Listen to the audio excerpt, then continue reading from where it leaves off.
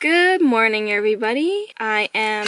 Oh, shoot, I just took a picture. What the hell happened? It's a Saturday. It is. What day is it today? November, like, 3rd, 4th, I think. November 3rd and I'm in the car. I'm actually on the phone with Tyrome right now. But I'm at a park in Mississauga. Well, it's a it's a park slash trail. And I have three photo shoots today. I just sent him a picture of Mad Ski She was naked. she has like a red uh, patch on her chest. You see it? Yeah, I see it. It's like I a it's a dry patch. But here I'll show you the picture of Madelyn Chubsters.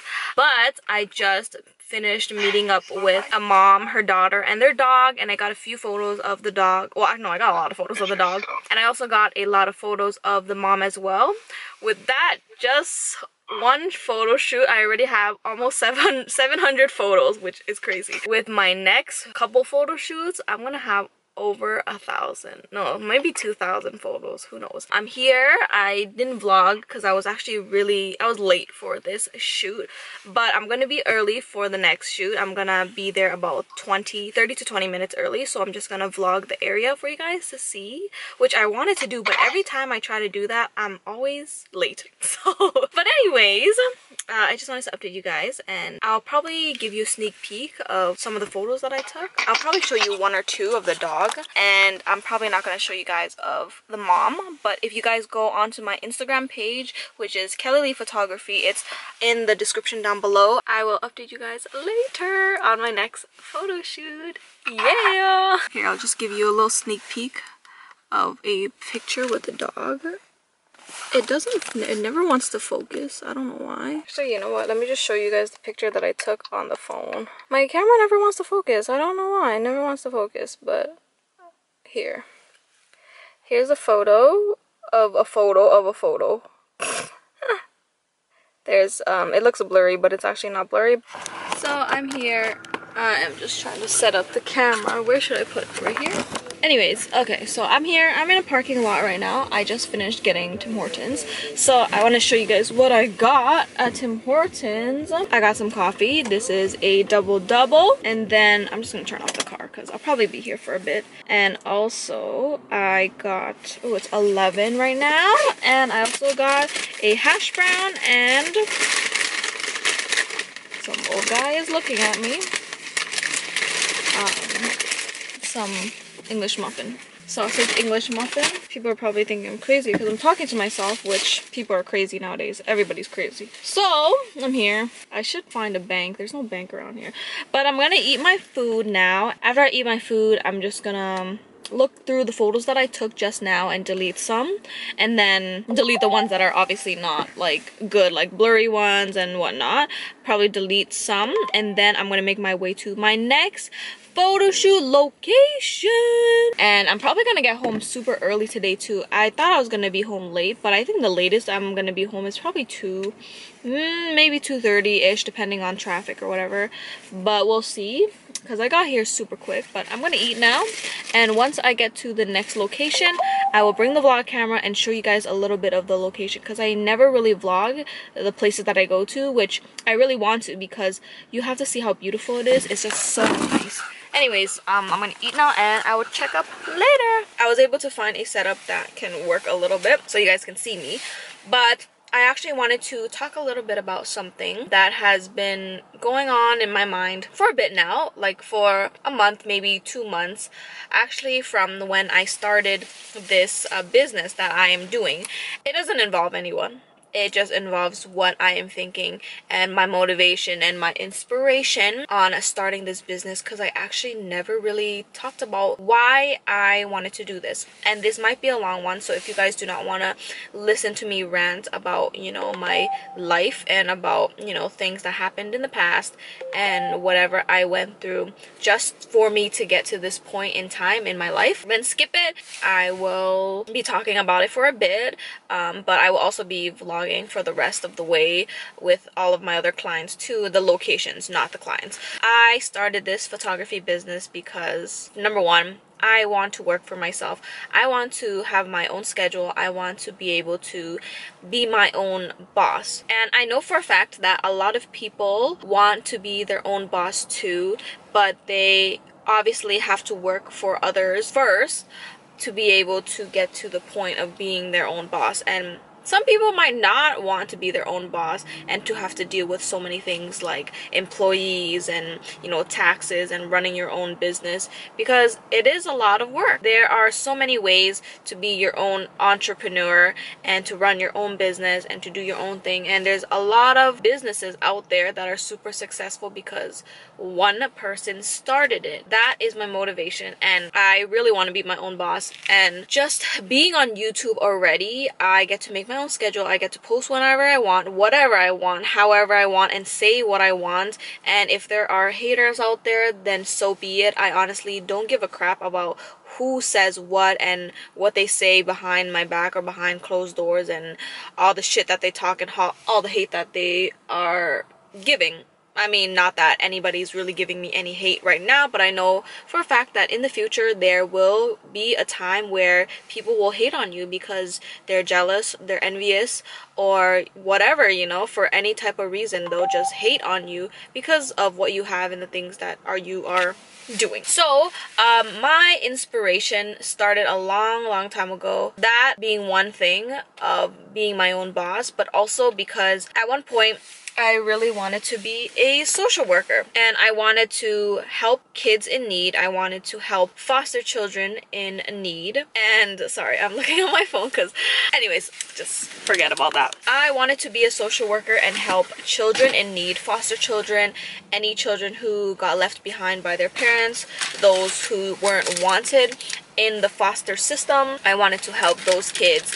and that was really something that I really wanted to do. I wanted to help people. That was one reason why I wanted to get into social work. Another reason why is because I used to be in a foster home. Not because, you know, my parents didn't want me or because, you know, of whatever reason, but I was temporarily put in a foster home because of a situation that happened with my family long long time ago when i was about in grade three or four it's over and done with i'm still with my parents um, i was only in a foster home for a week that really sparked my mind and sparked my motivation to become a social worker. When I got into um, studying to become a social worker, I was in the social work program. I went into a social work program for about two years. And after that two years, I decided that was not for me. And I hated it. I dropped out and then I decided, you know what?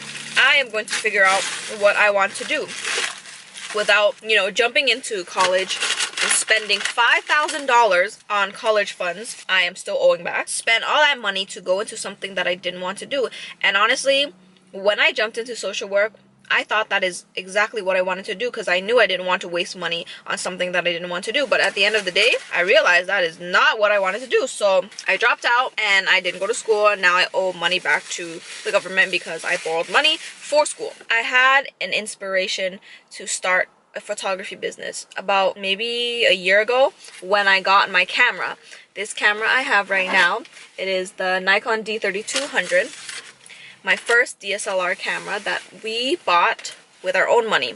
That sparked me not only buying this camera sparked me to start a photography business but also in a way that I am helping people but also using photography in a way to help people and not help people in like an emotional or physical or you know life stability kind of way but more of an emotional way where you can make somebody happy and make somebody feel really good about themselves or with themselves or with the memories that they are creating with them, with their families, you know, with their children and whatnot. Photography is a really good way to do that because if you are taking photos and if you are helping them create memories like, you know, taking photos of a birthday or a baby shower or a baptism or an anniversary or even just a regular family portrait or even like holiday photos or Christmas photos or, you know, fall photos or Halloween photos anything relating, you know, to just getting your family together and taking photos to create those memories,